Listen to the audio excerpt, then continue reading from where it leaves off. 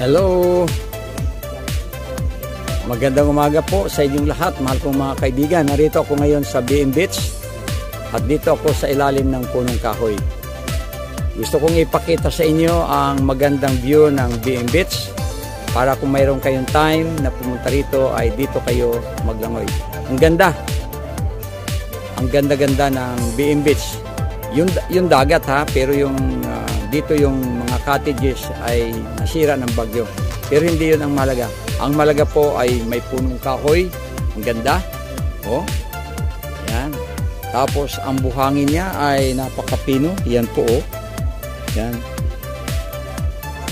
Pagkatapos napakalawak ang kanyang dagat. Pero hibas ngayon, hibas. Oh. Yan po. Kikita po ninyo ang hibas. Okay? Ngayon, oh, hanggang doon, ang lawak ng hibas, oh. Yan. Uh, ipapakita ko sa inyo mamaya yung talagang kalagayan ng uh, dagat dito.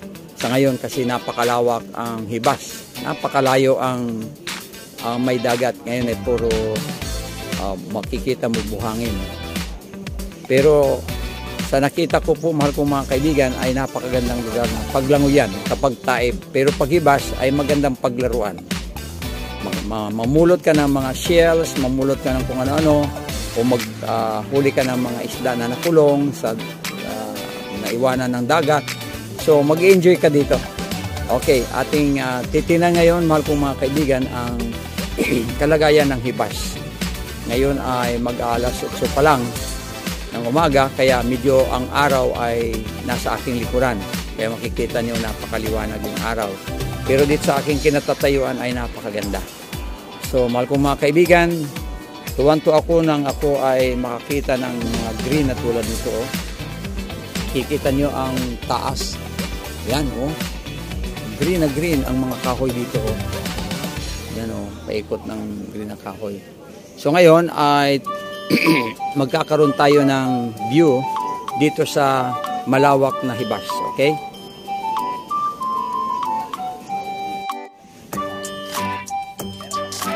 Yan, makikita po nyo ang lawak ng dalampasigan dito pero hibas. Hibas lang. Layo. Hmm? At napakaganda ang buhangin dito. Pinong-pino talaga parang asukal. Kaya kung taib, ang sarap dito maglangoy. Wala talagang mayayapakan kang mga bato. Wala kang mayayapakang mga matutulis. Yan, tinan niyo po. Yung aking mga kasamahan nagkikwentuhan.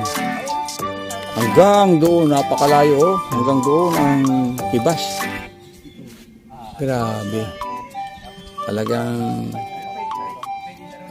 I love nature. Ito yung mga nilikha ng Panginoon na eh, dapat i-enjoy ng mga tao.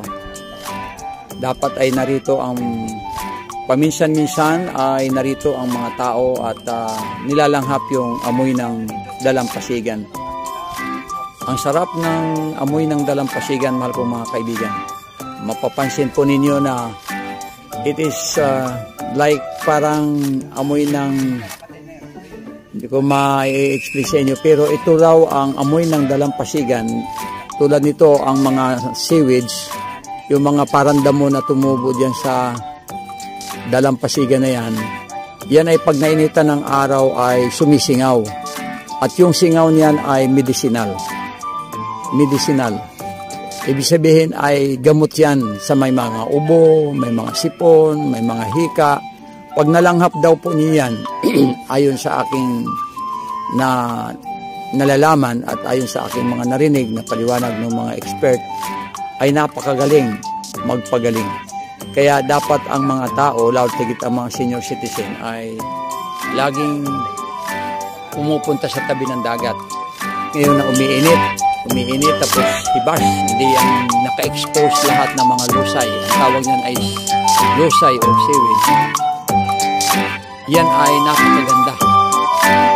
Napakaganda yan sa health natin mga kong. Kaya sana kung may time kayo, dahil ang mga matagal na na-quarantine sa bahay, nakulong sa bahay, matagal nang hindi nakakalanghap ng sariwang hangin sa dagat, pumunta kayo dito sa BM Beach, mahal ko mga kaibigan. Talagang makipil po ninyo yung amoy nakakaiba. Napakasarap sa ilong. Ah, wala kang maikumpara kung anong ah, amoy ang ibibigay ng nabilad na sewage. Kasi mamaya magtataib naman yan. Ang sewage ay magbubugay yan ng ah, something, hindi ko alam kung ano yan, na nagpapaganda ng air. At ah, gumaganda ang iyong pakiramdam. Ngayon, pagtaib na niyan mamaya, matutuyo, ama mababasa na naman yan. Masusok na naman sa dagat yan. Tapos, yun, magpatuloy na ang kanyang paglago. Paghibas naman, mainitan ng araw. Ganyan po ang environment cycle. At napakaganda po ang naibibigay niyan sa kalusugan, maniwala po kayo. Sapagkat eh, kahit i-research po ninyo, research po ninyo, ah, ang dagat po ay nagbibigay ng positive o negative ayon ba yun? At mapakaganda yan sa katawan. Hindi mabibili yan sa butika, mahal kong mga kaibigan. Hindi yan nabibili sa butika. Yan ay ah, tanging Diyos lamang ang nagbigay